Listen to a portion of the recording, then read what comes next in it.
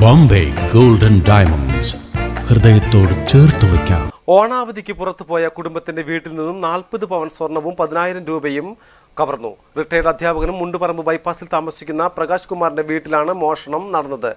മലപ്പുറം പോലീസും ഫോറൻസിക് അധികൃതരും പരിശോധന നടത്തി.